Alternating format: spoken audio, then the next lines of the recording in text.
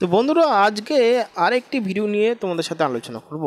যেহেতু চ্যানেলে যদি না সাবস্ক্রাইব করে থাকো, কলকাতা জব রিপোর্ট এখনই সাবস্ক্রাইব করে নাও এবং পাশে থেকে বেল আইকনে ক্লিক করে দাও।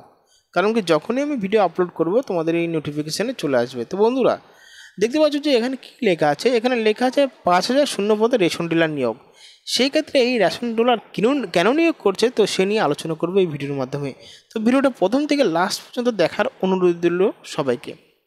বেশ কিছুদিন ধরেই রাজ্যে রাজনীতি, রাসায়নিক কাণ্ড নিয়ে তুমুল বিতর্ক শুরু হয়েছে। রাসায়নিক ব্যবস্থার দুর্নীতি ঘিরে ইতিমধ্যে সরব হয়েছে রাজ্যের বিরোধী দলগুলো।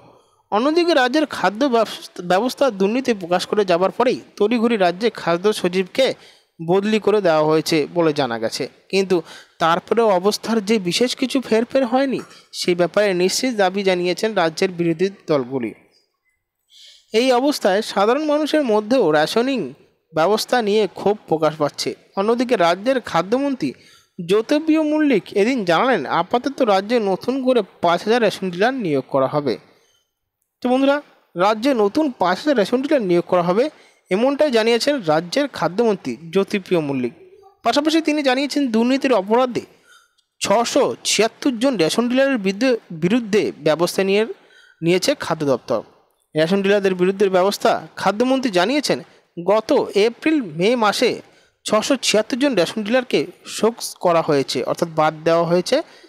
তো শোক শোক করা হয়েছে, কাউকে সাসপেন্ড করা হয়েছে, কাউকে টার্মিনেশন করে দেওয়া হয়েছে, কাউকে গ্রেপ্তার করা হয়েছে, তো জানেনই তো এই চাল দেওয়া নিয়ে, তো চালটা তারা লুকিয়ে রাখছে তা নিয়ে। তো খাদ্যমন্ত্রী জানিয়েছেন, রেশন ডিলারদের বিরুদ্ধে ব্যবস্থা নিলেও সেই রেশন দোকানের সঙ্গে সঙ্গে বন্ধ করা যায় না। কাছাকাছি যে রেশন ডিলার রয়েছে তাকে এই দোকানের সঙ্গে যুক্ত করা হয়। নতুন রেশন ডিলার নিয়োগ। খাদ্যমন্ত্রী জানিয়েছে, সরকার পাঁচ হাজার নতুন রেশন ডিলার নিয়োগ করবে। সরানো হয়েছিল খাদ্য সচিবকে। মুখ্যমন্ত্রীর নির্দেশে এপ্রিল সরিয়ে দেওয়া হয়েছে তৎকালীন খাদ্য সচিব মনোজ আগরওয়ালকে। দায়িত্ব দেওয়া হয়েছিল পারভেজ আহমেদ সিদ্দিকিকে। লকডাউনের মধ্যে রাজ্যের রেশন ব্যবস্থা নিয়ে বিরোধীরা নানা অভিযোগ তুলেছিল। যা নিয়ে ক্ষুব্ধ ছিলেন মুখ্যমন্ত্রী। নতুন রেশন ডিলার নিয়োগ। খাদ্যমন্ত্রী জানিয়েছেন, সরকার পাঁচ হাজার নতুন রেশন ডিলার নিয়োগ করবে। সরানো হয়েছে খাদ্য সচিবকে। মুখ্যমন্ত্রীর নির্দেশে এপ্রিল সরিয়ে দেওয়া হয়েছে তৎকালীন খাদ্য সচিব মনোজ আগরকরকে দায়িত্ব দেওয়া হয়েছে পারভেজ আহমেদ সিদ্দিককে। লকডাউনের মধ্যে রাজ্যের রেশন ব্যবস্থা নিয়ে বিরোধীদের নানা অভিযোগ তুলেছে জানিয়ে ক্ষুব্ধ ছিলেন মুখ্যমন্ত্রী। তো বন্ধুরা, বোঝা গেল? করোনা এবং লকডাউনের নি- দেশের ব্যবস্থা, অবস্থা নাজেহাল হয়েছে। হয়ে উঠেছিল। দেশের এবং রাজ্যের অর্থনৈতিক ব্যবস্থার টান পড়ে এবং এর শিকার হয় প্রতিটি মানুষ।